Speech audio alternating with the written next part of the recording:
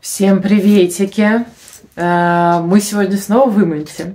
И кто давно на меня подписан, я помню ваши комментарии по поводу расхламления в. И куда же все это делось, а главное, откуда все это взялось. В общем, сегодня мы будем расхламляться в голубой комнате под вот этим вот чудесным диваном.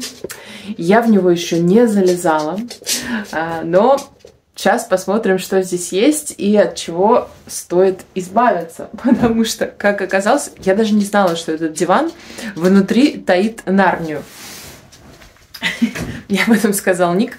Э, говорит, ну, давай ты там что-нибудь расхоломишь, посмотришь, что там. Так вот, сейчас будем, если я вообще подниму, эту крышку, будем смотреть. Так, опа -на. Опа. А здесь у нас Смотрите, как вкусно. Смотрите, как вкусно. Здесь куча вещей. А, я знаю только одно, что здесь есть секретка. Она примерно вот здесь, но мы до нее тоже доберемся. Итак, поехали. Расхламление. Так, первое, что у нас здесь? О, Господи. Шторы. Шторы с голубыми цветочками. Ну, блин, на самом деле, э, вроде бы как и даже материал ничего себе такой. Это шторина одна штука. И можно даже, наверное, ее и оставить. Ну-ка мы посмотрим. А, она только вот у нее лента тут вот такая мелкая, которую на крючочке нужно вешать. Это, конечно, геморрой каждый раз. Ну ладно, мы ее пока оставим. Тут вроде есть вторая, если они обе будут нормальные, потому что это вроде даже без зацепок.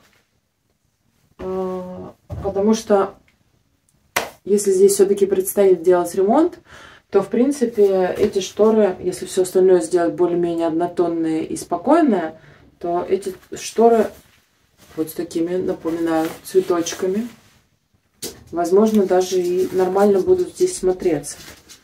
Все лучше, чем совсем без штор, если делать ремонт под сдачу. Да, и шторы на самом деле без зацепок нормальные, можно будет оставить. Потому что сейчас здесь, конечно, шторы сделаны, подвешенные на черте что. Я вставлю фотографию вот сюда, как это сейчас работает и как это печально. Так, следующий лот.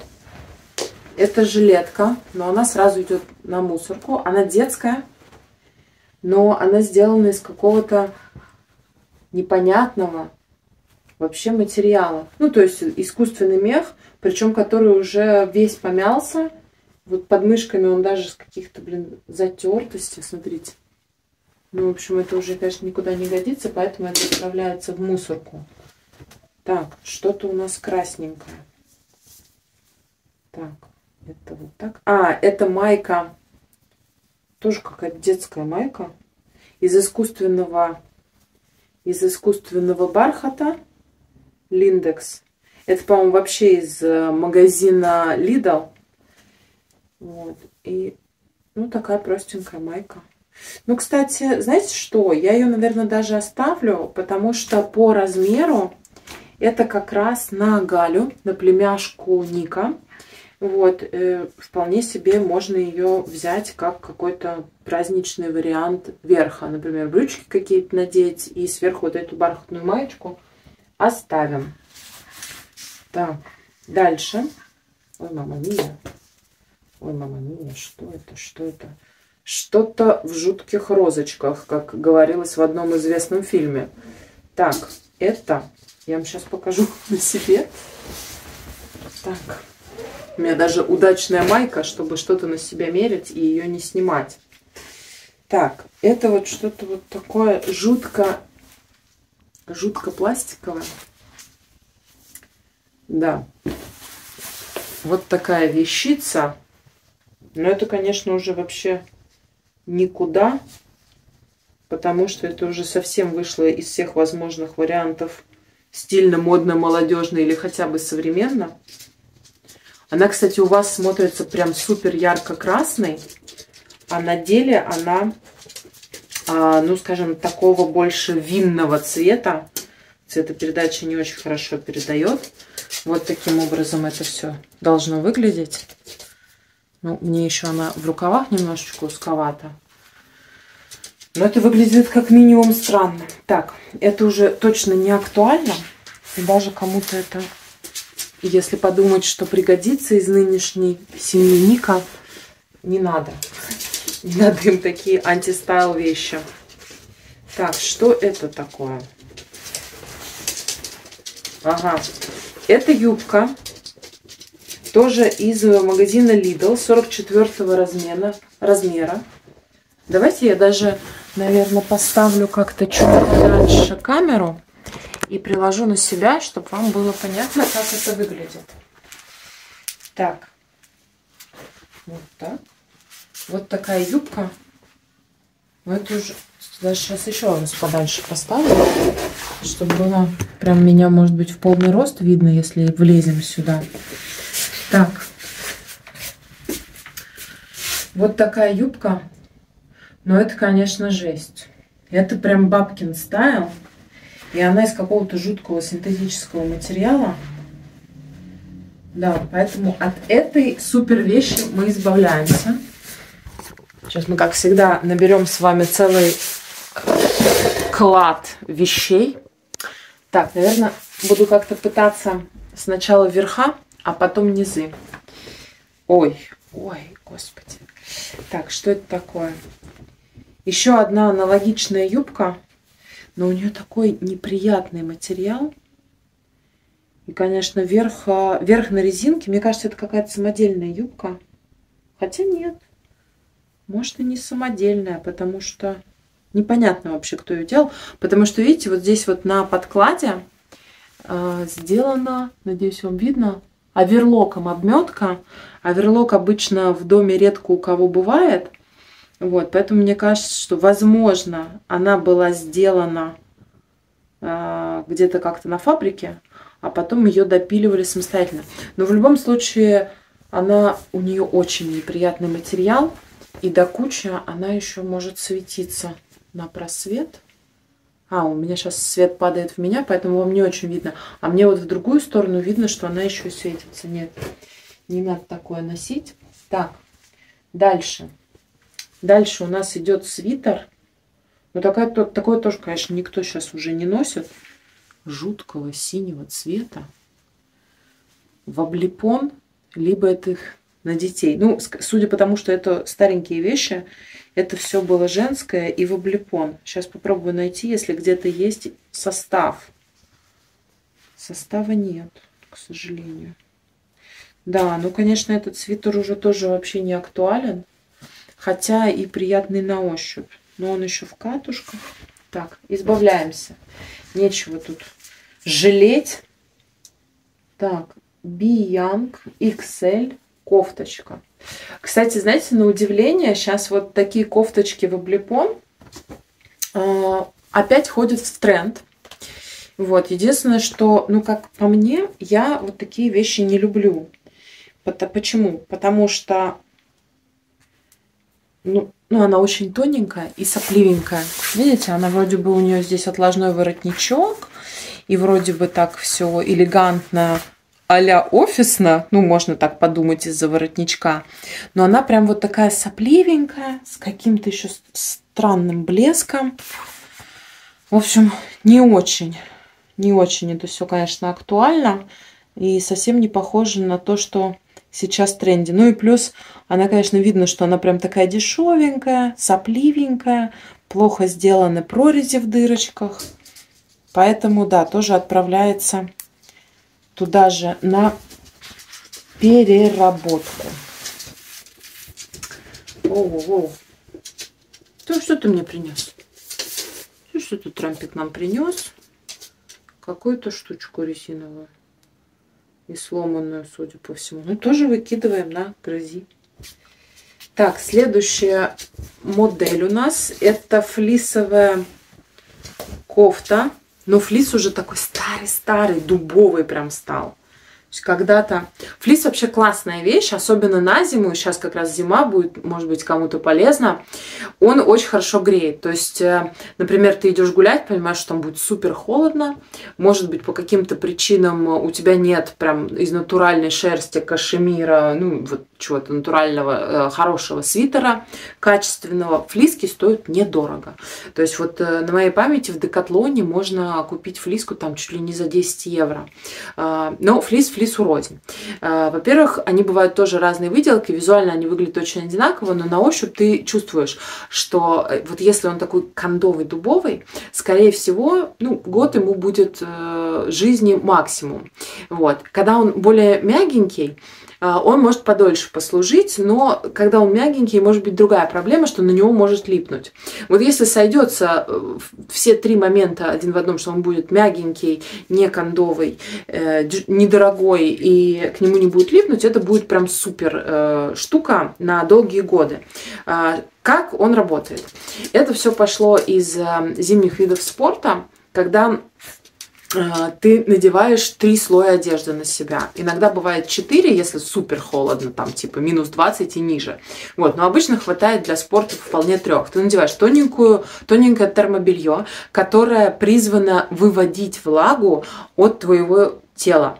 Вот, если ты потеешь, когда занимаешься спортом, влага через это термобелье выводится. Дальше у тебя флиска. И они, ну, вот они, правда, бывают разной ценовой категории, в зависимости от бренда. Самый дешевый, вот, как сказала, где-то от 10 евро начинается. Это в рублях, ну, около 1000 рублей плюс-минус. Вот. Флис также выводит влагу и еще сохраняет тепло он прям вот хорошо греет, потому что он такой пористый материал, синтетический, но он очень хорошо греет. И третьим слоем ты надеваешь куртку, которая не промокает, вот, и защищает тебя от ветра, такая непродувайка непромокаемая. И вот вот этот вот слоеный пирог одежды, он не позволяет тебе оставаться мокрым, когда ты вспотел, потому что все три слоя выводят влагу. И благодаря тому, что верхний слой не пропускает воздух и влагу, ты не, намок, не намокаешь снаружи и тебя не продувает ветром. За счет этого все спортсмены, альпинисты, сноубордисты, лыжники и так далее вот, они всегда остаются сухими, и им тепло. Это очень удобно. В чем проблема с этой флиской? Она уже вот как раз как те виды флиса, про которые я рассказала, которые плохо работают, она стала уже достаточно кондовой, и флис, он, эм, когда ему приходит уже все, срок годности отправляться на пенсию, он становится вот такой страшненький. Если здесь будет какой-то флис э, в хорошем качестве, я покажу для сравнения. А, вот так выглядит уже, ну вот он уже страшненький, видно, что он такой затасканный, поэтому, конечно, не оставляем его, а отправляем на пенсию. Вот. Потому что вещей, конечно, здесь просто дофига. И если помните мои старые видео, я тут оставила несколько хороших таких базовых шерстяных э, свитеров и джемперов, которые на случай, если сюда кто-то приедет из семьи Ника и будет холодно, смогут ими воспользоваться. Так, следующий лот, ой, тут еще пылище, целый вагон. Следующий лот, вот такой опять сопливый джемперок бренда Бу... Доми... Доминик Энгро. И все... Так интересно, э, все размеры э, сразу тут S, M, L, XL и все. Так, это тоже жуткий, э, жуткая синтетика с жутким уже, конечно, вообще не современным дизайном и очень сопливая. Поэтому даже мерить не буду, отправляем сразу out. Так, что здесь? Здесь еще один свитер. Ой, блин. Ну, тоже вот э, раньше была мода в начале 2000-х, может быть, в конце 90-х. Э, вот эти вот из, как бы, кофты-накидушки, я их так называю, э, они очень в облипку и очень сопливенькие. То есть я не знаю, кому они что грели. Видимо, ничего и никому. Это, знаете, вот дома, когда у тебя батареи работают, ну, так чисто. Вроде зима, вроде что-то такое на себя надеть. Вот. Но, сейчас, но это, конечно, вообще уже никак не работает. Мало того, что это слишком замудренный дизайн э, для того, чтобы сейчас носить. Слишком сопливенькая, да и уже, к сожалению, закатанная. Хотя когда-то, когда-то я понимаю, что это была очень модная вещь. Но не сейчас, к сожалению. Еще вот из-за того, что здесь не пуговицы, а кнопки.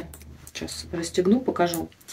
Э, в местах, где эти кнопки, это либо вручную расстегивать, либо если ты вот так вот просто тянешь э, шерсти или вот в данном случае аналог шерсти, вязаная кофта, э, очень растягиваются. И вот здесь, конечно, тоже все перерастянулось. Поэтому да, отправляем на переработку. Дальше что у нас интересного? Ох, боже мой, жуткие розочки. Черти что в жутких розочках. Тоже э, рассказываю про этот джемпер. Э, что с ними так? Он в хорошем состоянии. Сейчас я посмотрю, может быть, тут даже есть какой-то состав интересный. 30% шерсть, 70 хлопок. Ну да, и вот у нее на ощупь чувствуется, что она вот какая-то такая приятная, натуральная за счет хлопка и немного колется за счет шерсти. Но, девочки, вот это вот, черти что сбоку бантик, или в данном случае розочки, а тут еще блестки, которые частично отвалились. А, ну, а, еще вот здесь, посмотрите, здесь еще какое-то вывязанное, типа кружево, не кружево, как-то это надо назвать правильно.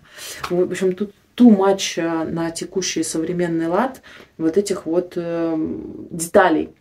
Вот была бы она просто ровная, это была бы вещь, конечно, на все времена. А так, нет, избавляемся. Так, дальше майка из магазина Lindex. Она сразу отправляется у нас на мусорку, потому что она в каких-то ржавых пятнах. Видно? Да, видно даже на видео. Ужас. Я так подозреваю, что когда туда все складывали, а, возможно, этого всего и не было. Потому что если вещи не работают, они долго где-то лежат, от них непонятно вообще откуда образуются вот эти непонятные пятна. И вещи даже вот бывают желтеют, портятся. Вот именно когда они вот так вот очень плотно друг на другом лежат. Поэтому вместо того, чтобы покупать кучу вещей и складировать их, лучше носить. Все самое лучшее на повседнев. О, так, здесь у нас видно, да, на, на видео, что это черное с таким фиолетовым переливом платье. Платье, ну, я тоже думаю, либо на какую-то худенькую девчонку, либо на Галю. Может быть, уже будет как раз как, я думаю, что ей по росту как раз будет хорошо. Просто базовое платье. А, если э, хороший плечевой, как бы вот этот пояс, нету каких-то а, лишнего веса, и все это хорошо выглядит, в принципе, можно в любом возрасте носить. Единственное, что вот у взрослых женщин вот эта часть подмышечная, э, тут э, тоже кожа стареет, и морщинки появляются, смотрится уже некрасиво. То есть как выйти из этой ситуации, если в остальном хорошо сидит. Просто внутрь надевать э, такую водолазку из сетки. А сверху уже вот это платье. То есть она не добавит теплоты какой-то, чисто вот немного прикроет вот эти морщинки, если они смущают, и будет все это очень круто смотреться. Поэтому это платье вместе с красным топиком оставляем. Правда, прикольный такой благородный фиолетовый цвет. И тоже, вот в чем хороши современные синтетические материалы в данном случае вот этот бархат. Вот ему сколько лет, с ним ничего не будет. Он и сохнет хорошо, и почти не мнется, то есть он там лежал комком, а складок вмятости почти нету. Поэтому оставляем. А, поедем, когда встречаться с сестрой Ника. А, наверное, захватим с собой э, все эти вещи. Возможно, они им пригодятся, потому что, Галька растет. А, красивые платьишки иногда хочется носить. Так. Что это? Тоже какая-то странная кофта. Немного колется, может даже и шерстяная. Красного цвета. В принципе, если отпороть вот эту пуговицу, то будет вполне себе нормальная кофта. Сейчас мы глянем, из чего она сделана. Так. О, кстати, да. Стопроцентный шерсть мериноса. Прикольно. Да, тогда вот эту оставим потому что пуговицу я сейчас отпарывать не буду. Посмотрим, сколько вещей у нас, в принципе, останется из вот таких вот прям хороших шерстяных, которые в хорошем состоянии мы сохраним. И, возможно, среди них тоже, может, какие-то лучки как-нибудь я доберусь, сделаю компоновку из старых вещей, как выглядит современно. Так, следующая часть марлезонского балета тоже, конечно, пойдет сейчас на переработку. Это тоже джемпер, тоже из какого-то непонятного материала. Бабушки, слушайте, надеваешь вот такие вещи и сразу понимаешь, что выглядишь немного странновато, мягко говоря, да? Так, во-первых, это какая-то синтетика. Он еще немножко так уже, мягко говоря, стал, устал, устал. Вот, и она с коротким, посмотрите, каким рукавом. То есть это либо на какую-то женщину, ну вот на сколько? Сантиметров на 20-30 ниже меня, то есть это 150 рост э, примерно, и очень толстенькую. И вот цветочки. И вот в чем проблема? Э, цветы вообще очень капризный принт. И э, в, нем легко скатиться именно в бабку. И вот чтобы этого не делать, либо нужна очень хорошая насмотренность, что ты, ты смотришь на принт и думаешь, не, вот это стильный принт в цветочек, а вот этот вот бабкин. Вот. Либо нужна очень хорошая насмотренность, чтобы сразу понимать, какая вещь... Вот этот бабкин. Э, чтобы сразу понимать, какая вещь ок, а какая не очень. А, либо лучше избегать этого, чтобы точно не промахнуться. Так, дальше. Дальше идет еще какое-то платье. Вот, тоже, кстати, а, я помню, вот эти платья были. То есть это что? Это вязаное, можно даже и махер. Такой не очень, не очень хороший, потому что к нему все липнет. Сейчас посмотрим. Нет, тут срезано все. А, но по, на ощупь похоже на махер. А, в чем платье? Зимнее платье, шерстяное, с толстым воротником. Но оно, посмотрите, какое просвечивается. То есть э, на голое тело его не наденешь, потому что понятно, что у тебя там будет белье, у тебя там будут колготки, и все это вот в этом облепонном платье будет пролегать. Соответственно, внутрь нужно какое-то внутрянку надевать. То есть, там, не знаю, платье-комбинацию или платье, футболку, ну, который только будет длинный рукав. Вот. В общем, это слишком много всего. Скорее всего, даже платье, вот эта футболка не поможет, потому что будет все пролегать, потому что тут очень такая рыхлая вязка. И в любом случае вот эти платья смотрелись плохо. Они на моделях, я помню, когда ну, ты смотришь либо в интернете, либо в журнале каталог, на моделях они смотрятся хорошо, потому что, понятно, там под фотошопили все хорошо. Когда надевает его живая женщина, так, чтобы это можно было носить, чтобы это выглядело красиво, она все равно получается вот так вот, как колбаса в сеточку. Поэтому эти платья, они очень опасные. Вот эти вообще платья трикотажные, вязаные, шерстяные нужно очень аккуратно выбирать, потому что сейчас тоже пошел тренд, что их носят. Нужно выбирать, чтобы у нее был такой вот плотный трикотаж, чтобы через него ничего не пролегало. Тогда это будет смотреться хорошо. Опять же, при условии, что хорошая фигура, что не будет вот этих вот бугорков э, из-за нюансов фигуры, и все будет нормально выглядеть. Так, следующий лот. Господи, брюки. Брюки бренда Дромедар. 40 размера. Я их пока отложу, чтобы мне туда-сюда не прыгать. А, так, дальше у нас идет жакет JJ Jeans э, какого-то шведского бренда. Тоже, смотрите, она типа джинсовая, не джинсовая, ну что-то подобное. С коротким на мой рост рукавом. Коротковатым. Показалось, что пятно, но вроде бы нет. Так. Вот такая странная куртка. Очень странная. Очень тоненькая. Такая тоже типа ветровки, но непонятно подо что. Ладно, пока оставлю. Потом посмотрим, сколько на разбор ушло из оставшихся вещей, сколько осталось, и, может быть, по кругу еще раз разберемся. Так, дальше какая-то дранина. Кусочек ткани, ну, вот смотрите, какой весь подранный. О, подранный, подранный со всех сторон. Зачем он здесь лежит, непонятно. Так, отправляем на переработку. Так, что-то еще из искусственного бархата. Какое-то платье, судя по длине. Тын-тын-тын. Тын-тын-тын-тын-тын. Да, бархатное платье. О, хорошее. Так, бархатное платье на кого-то очень высокого, худенького. У меня похожее есть платье, а, тоже из искусственного бархата из Зары, тоже такое же длинное.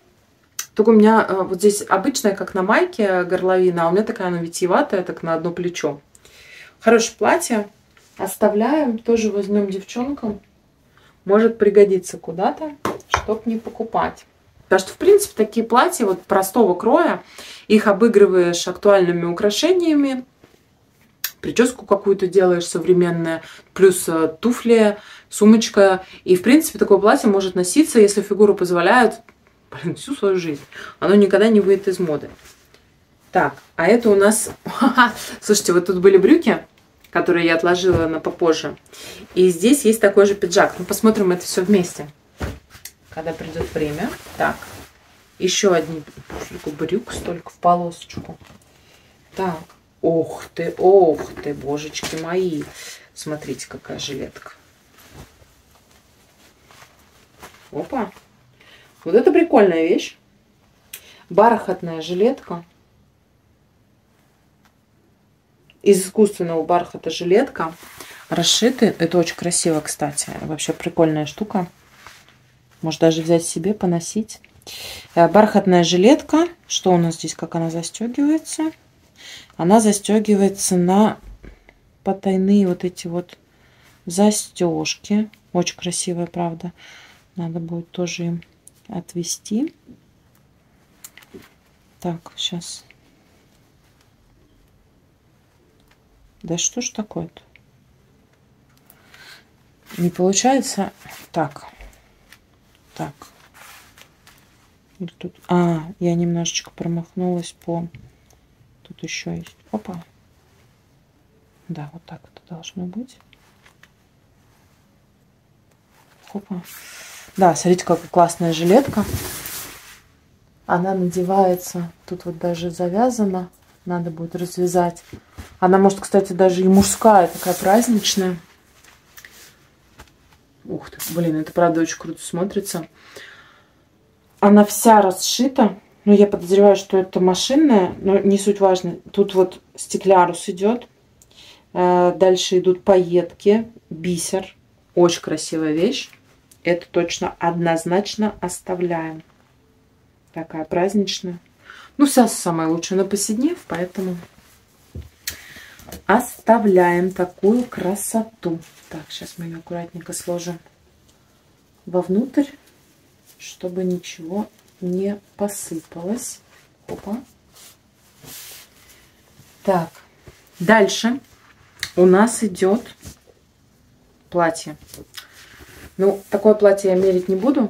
Я думаю, вы тоже все понимаете, что это бабулин вариант. Сейчас такое уже никто не носит такое платье-халат. Модно было одно время, я помню, мама у меня даже ходила, когда это было прям супер-супер модно. А, ну еще оно вон все в пятнах. Да, точно на мусорку. Так, дальше что у нас? Так, это тоже брюки. Отправляем на попозже к брюкам. Это что? Юбка. Господи. Юбка странной длины и странного внутри. Ух ты, как интересно тут сделано. А, смотрите, юбка, она длиной, наверное, чуть ниже колена. Это такая тоже опасная длина. Она очень делает квадратистую фигуру, а, потому что конкретно в этой юбке она идет на поясе. И здесь, блин, а как бы там показать мелкий рисунок, не видно. Но Надеюсь, будет видно. Видите, она сбор, на сборках. То есть она идет на пояс, и она добавляет объема на поясе за счет вот этих сборок именно в районе талии. Хотя э, в районе талии, по бокам и на попе, потому что спереди, видите, тут гладенько, и нету никаких сборок. Но внутри, так, сейчас я Внутри есть подъюбник. Он очень странной формы. Так, сейчас я попробую вам изобразить. Так, видите разрезы? Очень странные разрезы. То есть, возможно... Да, здесь есть разрезы на юбке спереди, но из-за того, что подъюбник тоже с разрезами и верхняя юбка с разрезами, в момент движения они будут так вот переплетаться, и у тебя будет из юбки выскакивать вот этот вот кусок подъюбника. Выглядит странно очень. В общем, нет, тут очень много вопросов к этой вещи, поэтому не стоит в современном мире такими деталями заморачиваться. Так, тоже, блин, все в пыли, ужас. Так, здесь у нас рубашка из жуткого синтетического материала. Такое раньше и сейчас, наверное, носят э, главбухи где-то в, в небольших компаниях. Но, правда, для главбуха размерчик маловат. В общем, вот такая вот рубашечка, казалось бы, на лето, да, ну, хорошо, в принципе, такой лаконичный дизайн, вопросов нету. Но проблема в чем? Проблема в том, что она эм, стопроцентный какой-то жуткий синтетик. Сейчас посмотрим, написано тут. Стопроцентный полиэстер. Вот. И э, летом, конечно, ты будешь в ней все время мокрой из этого стопроцентного полиэстера, потому что если полиэстерное термобелье, она за счет вот плетения специального, оно выводит от тебя влагу, то вот эти вот вещи из магазинов, они, у них нет такого плетения, к сожалению, и влагу они не выводят, поэтому ты будешь в ней потеть, а зимой тебе будет в ней холодно. В общем, вещь такая непонятная, куда в ней ходить в таком формате. Но она отправится на переработку, но на ней пуговицы из перламутра. И пуговицы я преждевременно от нее отпарю, потому что их можно куда-то перешить на какую-то хорошую вещь, где будут неудачные пуговицы. Вот, аналогичная рубашка. А, там был белый полиэстер, а здесь такой кремовый полиэстер. Но и за счет того, что она кремовая, как будто бы она уже пожелтела. Вот, это, конечно, тоже очень плохо выглядит. И вот смотрите, из-за того, что еще материал э, не плотный, а такой вот просвечивает, здесь видно отворот э, отложного воротничка, что он вот тут просвечивает. И получается, что ты такая ходишь, а у тебя тут какие-то непонятные полоски. Зачем? Неизвестно. Здесь еще, знаете, что по подолу идет? По подолу вот такой вот какой-то машинный рисунок. Тоже, знаете, как в Советском Союзе, в детских садах а, на шторах делали. Вот, в общем, ужас.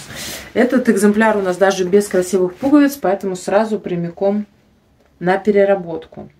Так, дальше. Дальше у нас, оп, два в одном. Сейчас посмотрим обе. А, рубашка. Она вроде бы хлопчатобумажная. Мерить мы ее не будем. Она сразу отправится на переработку, потому что смотрите, каких она пятнах. Тоже непонятно. Потому что она чистая, но она в пятнах. Поэтому сразу в мусорку. Так. У соседей музыка какая-то играет. Так, дальше. Дальше, блин, тут одинакового плана вот этих вот рубашек женских с коротким рукавом целая куча. Вот это тоже есть вопросы. А, машинная вот эта вот вышивка, которую уже сейчас никто не использует. А, и смотрится это, конечно, архаично очень. И опять же куца, потому что она где-то на спине, да, она приталенная. Пуговицы обычные. Она тоже так же просвечивается, как и на предыдущих вариантах. И тоже вот он просвечивается и смотрится это ужасно. И получается, представляете, вот либо под нее нужно надевать что-то одной одинаковой так, с рукавом рубашки длины, белое, чтобы это было как подложка. Э, либо у тебя будет видно все пролегать за счет того, что это очень тоненькое. Там и бюстгальтер, даже если ты наденешь бежевый, и он не будет виден, но пролегать он будет. В общем, тоже есть вопросы к таким вещам. Как вот люди все это вообще придумывают? Зачем? Непонятно мне. Так, что это такое? Ага. Так, еще один вариант. У меня как-то у самой э, подобного плана была кофточка. Ее тут даже вон зашивали, видимо, чтобы был по не такой глубокий вырез. Но она просто, она как, знаете, такие полиэстерные сумки в магазин ходить. Вот вообще из такого полиэстера. Полиэстер, полиэстеру рознь, бывает разный. Смотрите, что с ней. Вроде бы тоже, казалось бы, ну что тебе, футболка и футболка. Нормальный вообще э, вариант. Она, во-первых, сделана просто такой Два куска взяли, рукава прорезали и норм. Во-первых, тоже э, материал жутчайший, неприятнейший. А, здесь опять пролегает все это, и, соответственно, и белье, и все, что у тебя там будет, будет все видно.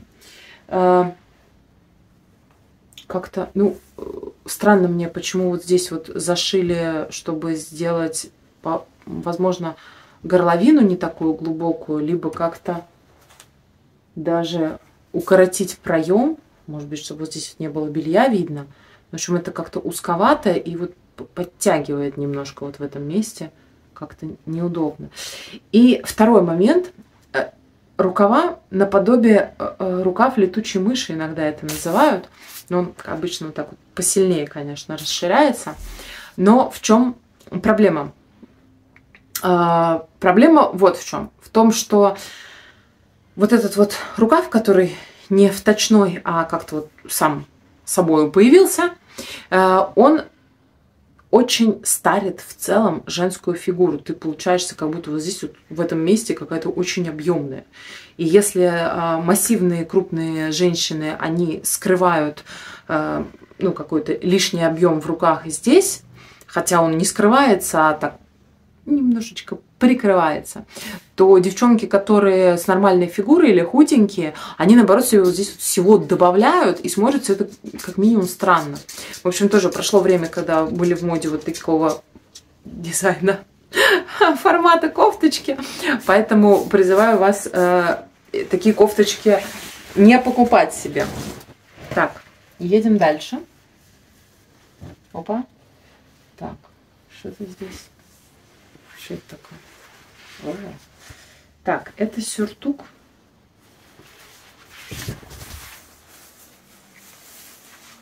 Сюртук синий. Опа.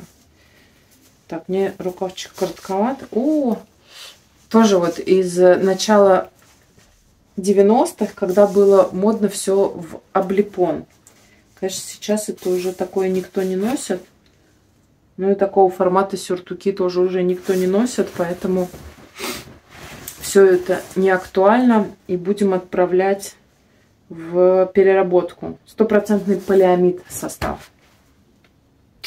Ой. Прервали меня немножко по работе. Продолжаем. Дальше пинджакет. Пинджакет. Голубой пинджакет белыми пуговицами. Знаете, вот очень странно, когда на пиджаке пуговицы другого цвета. Это сразу обязывает выбирать тебе либо внутрь белую, светлую какую-то одежду, либо для, на низ одежду. Так, сейчас я вам покажу. Так, неудобно. Куда я вас поставлю? Вот сюда поставлю, должно быть нормально. Да, ну такой пиджак. Ну, нормальный в целом пиджак. Можно носить. Не знаю, правда, зачем он нужен будет здесь кому-то, потому что в офисном варианте внешнего вида вряд ли здесь кто-то будет ходить, только если на отдых приедут. Ну, посмотрим. Пока оставлю, если опять же будет не сильно много вещей здесь, Автономик Classic, 12 размер одежды. Вот, потому что в целом хбшный пиджак, более-менее такой лаконичный и простой, вне времени, оставим. Так.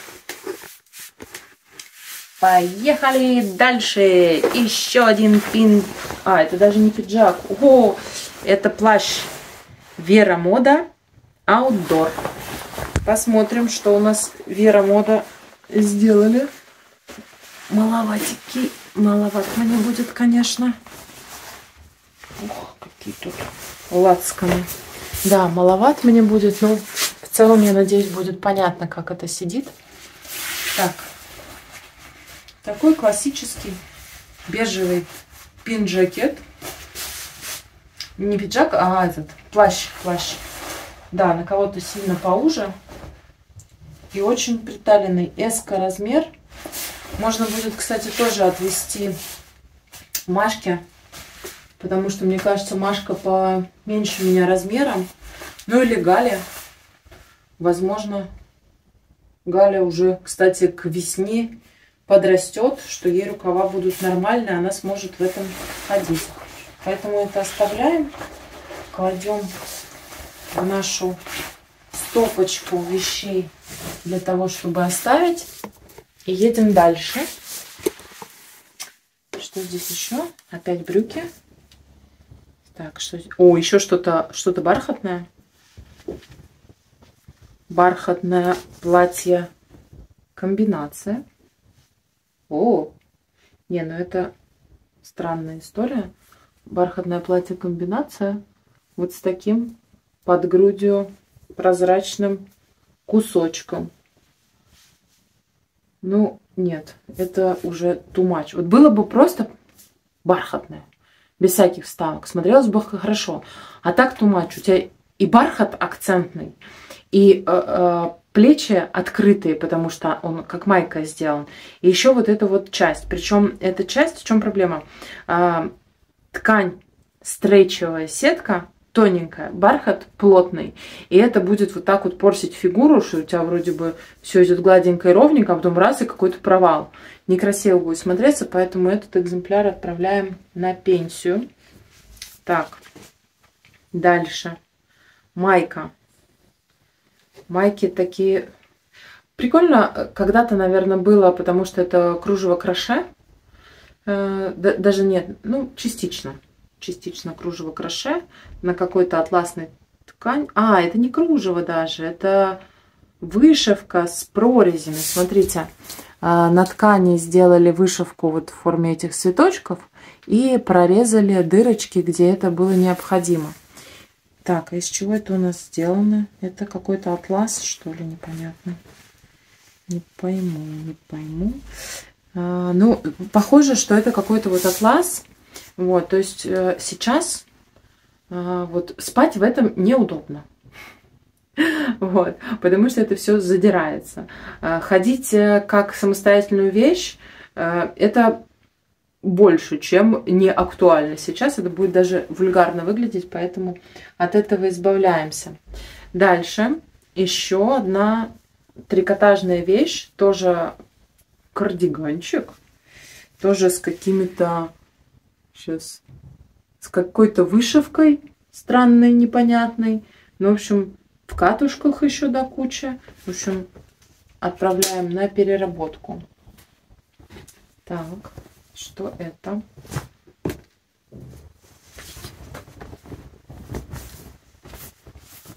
Вот, это должна быть нормальная вещь.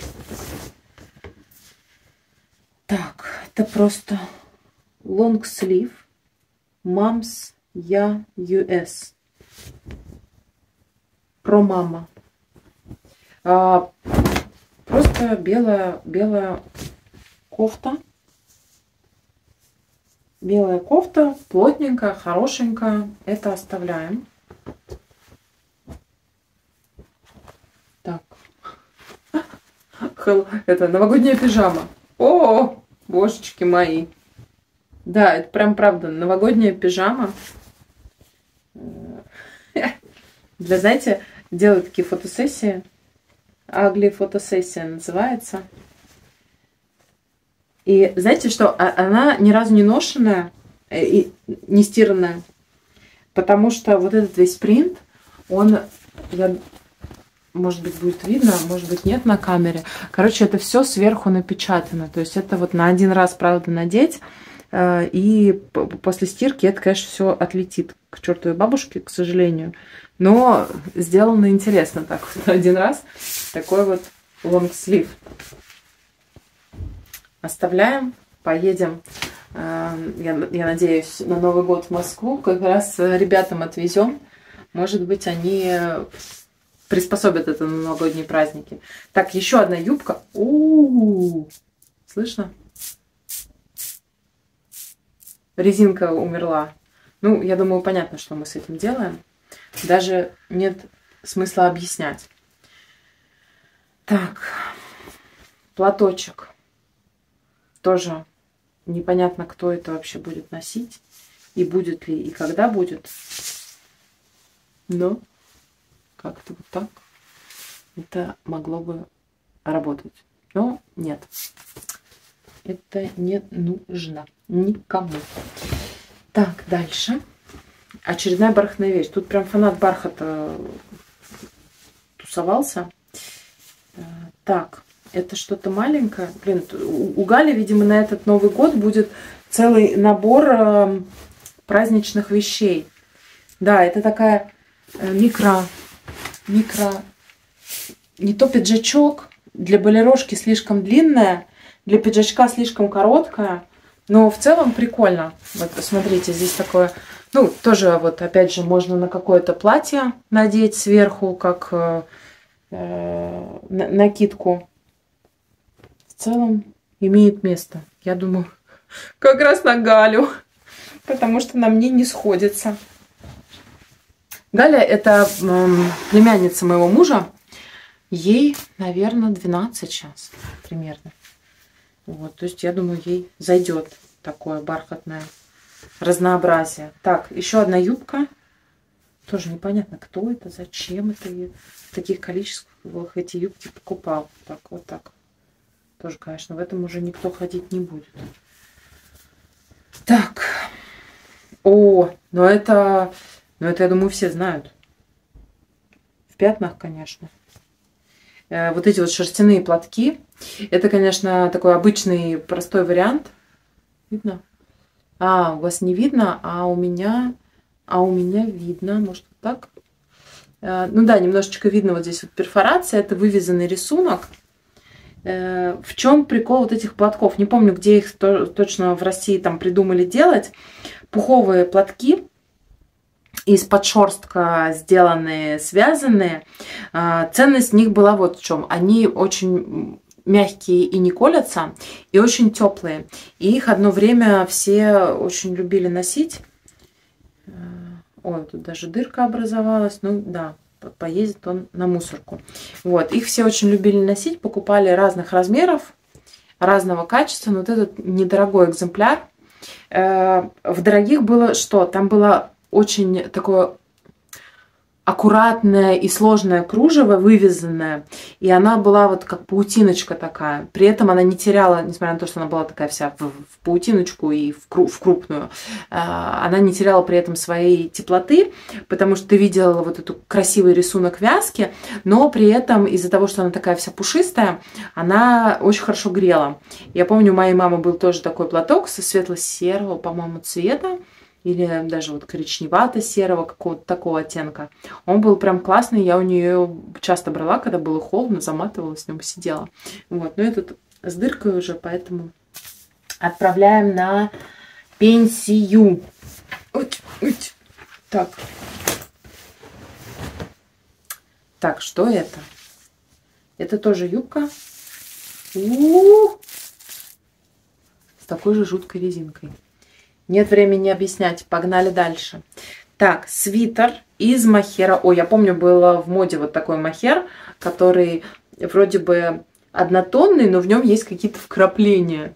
И э, помню, моя бабушка мне тоже вязала такой свитер. Но сейчас это, конечно, совсем не актуально. Да, вряд ли это кто-то захочет носить, поэтому избавляемся. Да и вообще, если кто-то сюда приедет, то скорее летом. Так, тоже какая-то цыганская свадьба из шторы. Кофта. Поэтому отправляем ее на пенсию. К сожалению, все это уже не актуально. Так, это у нас что такое? Платок? Парео? Или штора? Непонятно. А, это какое-то парео. Ну да, конечно, в таком парео, такое парео тоже уже никто не носит. И вряд ли будет. Ну и оно настолько огромное, что даже как вот шарф, ну, может быть, и имело бы место, но, конечно, уже по цветам, оттенкам совсем не торт. Из чего это он сделан нам? Подскажите. Пувиль.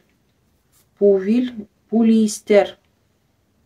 Да, какой-то неизвестное, неизвестное название полиэстера. Так. Очередная трикотажная кофта. Ну, конечно, тоже уже не торт. Очень, очень будет старить всех женщин, которые могли бы это в нашей семье надеть. Поэтому не будем им портить фигуру. Так, H&M. Платье. Господи. Ну, вы видите, да? Вот этот вот подрез с какими-то складками. Да, это даже не снимается. Жуткий полиэстер. Жутко мнется. Поэтому и цвет, конечно, вызывает вопросы. Отправляем на переработку. Так. Это платье трикотажное из какого-то синтетического материала. И тоже все в катушках. Поэтому отправляем, даже не будем дальше разбирать. Так. Миллион шарфов я здесь, кстати, нашла. Вот эти шарфы, помните? Они предполагались как мужские и были очень в тренде. Но они тоже сделаны из какого-то жуткого полиэстера. И поэтому, поэтому все закатались за время. Поэтому отправляем на переработку. Так. Так. Это сексуальная комбинация, но которой тоже уже резинки все подрастянулись, поэтому отправляем на переработку. Дальше. Вязаная, вязаная жилетка. Ну, такой экземпляр тоже уже совершенно не актуален, поэтому отправляем на переработку. И, девчонки, кто вяжет, вязаные вещи могут быть, правда, очень классные, очень современные. У меня мама сейчас как раз ударилась э, в тему вязания, покупает себе совершенно разнообразную шерсть, она что, что делает? Она смотрит современные тенденции именно в вязаных вещах, у каких-то люксовых брендов, смотрит, из чего это сделано, э, либо сама разбирается, как э, связать точно так же, либо ищет где-то в интернете э, схемы вязки, потому что мастериц сейчас очень много, кто вяжет и кто повторяет вот именно вот эти люксовые супер модные вещи вязаные. И мама делает то же самое. У нее уже несколько костюмов, свитеров. Она связала э, мужу своему тоже свитер, вообще совершенно потрясающий. Э, такой базовый классный свитер из э, какой-то там тоже шерсти, какого-то маленького, там то ли олененка, то ли пингвиненка. Я, честно говоря, в шерсти мало чего понимаю. Вот, вот именно вот этих подшерсток, вот этих молодых зверушек э, очень ценятся потому что зверушка может быть молодой только один раз в своей жизни. Поэтому вот это вот молодых э, зверушек э, шерсть очень ценится, она дорогая. И вот из этой шерсти она связала ему свитер, потрясно смотрится, поэтому если собираетесь что-то вязать, вяжите вещи так, чтобы они прям вот были современные. Потому что, к сожалению, я, я все понимаю, что э, вот это связать не тривиальная задача. То есть, ну, понятно, да, что это сложно вывязать вот эти вот цветочки, розочки, да, вот. Но такая вещь, к сожалению, она, ну, уже все, как бы она устарела, она несовременна и выглядит плохо. Поэтому хочется вязать, умеешь вязать, э, любишь и так далее, пожалуйста, но только современное вяжите, чтобы украшать себя. Одежда же она для этого и нужна, чтобы украшать. Так. Дальше у нас экземпляр вот чуть-чуть э, более теплым передает. Она, наверное, такого э, цвета лосося, на самом деле, кофточка. Тоже уже и по дизайну несовременная, и в катушках, поэтому от нее, конечно, избавляемся. Надо попить водички.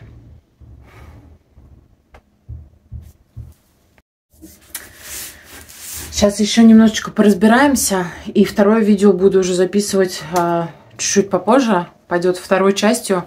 Потому что здесь, конечно, не на один час разбора. И, соответственно, туда пойдут уже верха. Ой, верха, низы. Так, что у нас здесь? У нас здесь яркий, яркая толстовка. Левайс, вроде как даже. Да, настоящий Левайс. Тоже оверсайз, розовенький цвет. И так, что с рукавами? Рукава нормальные. Пятен вроде бы нет. Тоже можно оставить как базовую вещь. И э, есть у меня, конечно, вопросы, потому что, ну, такой очень яркий вариант.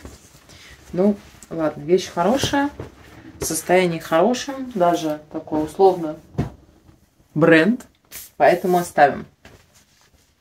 Так, еще одна странная кофточка. Тоже было модно вот такие вязаные кофточки с коротким рукавом. Водолазка только с коротким рукавом. И у меня вопросы. Э, потому что тоже у меня в детстве был такой набор, было модно, когда они были костюмчиками. Типа у тебя такая вязаная безрукавка или вот такая вот водолазка, и сверху ты надевала еще в абсос этот э, облегающий кардиганчик. И все вместе это было очень много и толсто, но при этом не грело, потому что понятное дело, что сделано непонятно из чего. Вот. И вот да, сейчас у меня вопрос, как это вообще носить? Ну, была бы водолазка зеленая, было бы нормально. А так с коротким рукавом, видимо, поэтому ее не носили. Но ко всему прочему, у нее цвет такой, э, ну даже на видео видно, что она прям как зеленка. Вот. И она, конечно, уже тут вот затерлась от времени и такая уже видавшая виды. Хотя ощущение вот из-за того, что это все резинка, э, как будто ее не носили. Но при этом она уже так подустала. Лежа, просто лежа. Поэтому отправляем ее на пенсию. Господи, что это? Что это? О, еще один экземпляр. Но опять же, в ту же серию вот этих вязаных вещей. Это, правда, промышленная вязка. Там есть шильдик. Она вот так вот просвечивается. И тоже жуткий колющийся полиэстер. Бренд какой-то Уоллес. Да, это, конечно, уже вряд ли кто-то будет носить. Все, кто сюда приедут, приедут сюда в отпуск. И что им нужно будет? Удобные джинсы или спортивные штаны – футболки, толстовки, свитера, если холодно. Все. Поэтому все остальное вот это вот праздничное, уже, конечно, и, и, и офисное, уже, конечно, никому не нужно, поэтому от всего этого мы будем избавляться. Так, это тоже что-то было, видимо, для того, чтобы спать, либо, может быть, как-то ходить. Но тоже есть вопросы, как ходить. Внутрь надеть футболку, а вот здесь вот будут э, рукава пролегать. Это будет некрасиво, потому что будет сильно видно. Надевать что-то с длинным рукавом, а сверху вот такую, это уже будет тепло, как бы не на лето. Надевать на бюстгальтер странно. Надевать на пляж, ну, не хватает длины. То есть она где-то там на середине бедра заканчивается и не закрывает попу. Поэтому есть, конечно, вопросы, куда и как это планировалось. Вот, поэтому, конечно, избавляемся. Кружево здесь машинное. Вот, то есть никакой ценности в нем нету. И материал сам синтетика жуткая, поэтому избавляемся. Хранить это, конечно, бессмысленно. О-хо-хо. Так, еще одна странная юбка. Она вообще, судя по э, размеру талии и длине, она должна быть выше колена. Вот, и сейчас, конечно, так уже никто не носит. Поэтому избавляемся. Хотя в целом, э, хоть материал и такой вызывает вопросы, но приятный. Принт вызывает вопросы, материал приятный. И еще тут очень странная обработка края. Смотрите, видите? Тут нет подгибки, просто обработано оверлоком, и кое-где подгибка есть. Вот, ну, соответственно, это все будет видно при ходьбе. И, конечно, это некачественно сделано. Избавляемся. Так, ну и последняя вещь в этом видео. Следующее будет э, друг, другое видео, вторая часть, расслабление под диваном в синей комнате. Вот еще один вариант. Это, наверное, все-таки больше водолазка, чем платье. Опа! Да, потому, потому что либо это супер микро платье, если оно... Не, на меня оно даже не налезет, потому что так не растянется. Вот, либо это микро платье, либо это такая удлиненная кофта с горловиной, достаточно широкой, но уже тоже такая закатанная и странного цвета осенней листвы. В общем, поскольку мы все славяне, и в основном зрительницы моего канала, наверное, славянской внешности, проблема вот в чем. Теплые оттенки, вот такие охра, а, идут очень небольшому количеству славянских женщин. В основном комплементарно к внешности э, будут э, холодные цвета. Вот. И дабы вещь вас не старила, или как сейчас в Инстаграме, э, в нельзяграме э, говорят, э, в рекламе всяких приложений, которые помогают подобрать цвет к твоему лицу. Вот, мой парень говорит, что в этой желтенькой кофточке я выгляжу ужасно. Э, я ему не верила, а потом решила проверить вот в этом приложении. И действительно приложение сказало, что мне эти вот желтенькая кофточка мне не идет. Идет не, не проблема не в желтой кофточке, а проблема в том, что у тебя славянский тип внешности и подтон э, красноватый. И э, теплые оттенки любого цвета, они будут выявлять на коже все неровности, все недостатки, все огрехи. А холодные оттенки тех же самых цветов, красных, желтых, оранжевых, эм, будут э, сильно выигрышнее показывать лицо. Это опять же все про портретную зону. Все, что там внизу, как правило, не играет роли. Хотя иногда бывает такой тип внешности, когда и то, что внизу, ну то есть там штаны, юбка, брюки, тоже бывает отбрасывает настолько яркие цвета, что отбрасывают тень на лицо, и тоже лицо не очень выглядит. Поэтому нужно, конечно, в идеале разбираться со своим типом внешности и оттенками, которые подходят, ну или универсально э, не выбирать просто теплые цвета, если у вас э, славянский тип внешности. Так, заканчиваю это видео. Следующее будет с номером 2, второй частью расхламления чуть-чуть позже. Все. А я пойду выкидывать вот эту гору, потому что гора, гора получилась огромная. У меня есть э, сумка Икея, в которой я сейчас все это загружу и отнесу вещи на переработку. Все. Была рада побыть сегодня с вами. Спасибо, что посмотрели. Пока-пока.